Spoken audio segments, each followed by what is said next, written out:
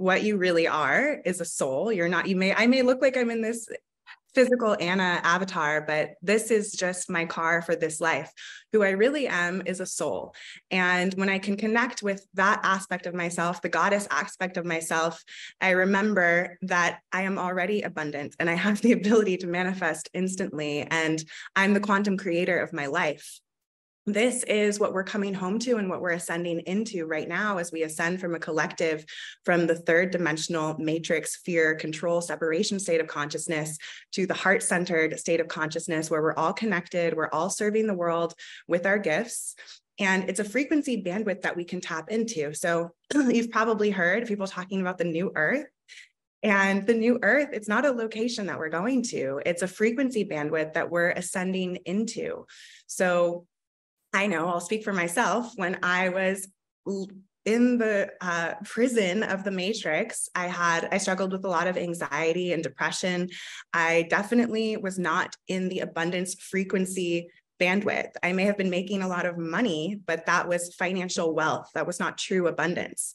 When you start to attune to your true vibration. I don't even like to use the term raising your vibration because what you already are is a super high vibrational beam of love. And we're just shedding everything that is not that.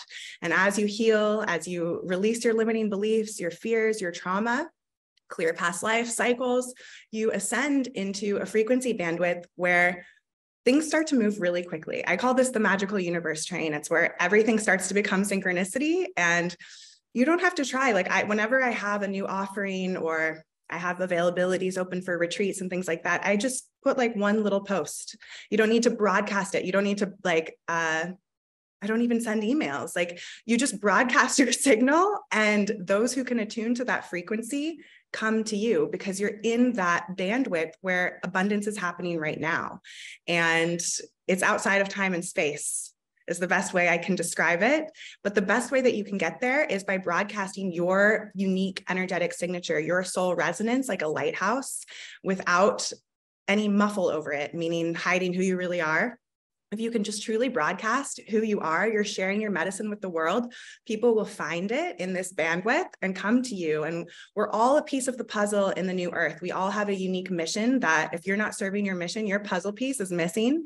When you tap into this frequency, frequency bandwidth, you put your puzzle piece in and your people will find you, your clients will find you. I'm sure many of you are healers, coaches, yeah. clairvoyants, mediums, medicine people. And it's it's a bandwidth that you tap into where those who need to receive your magical medicine can find you because you're broadcasting that light, that signal.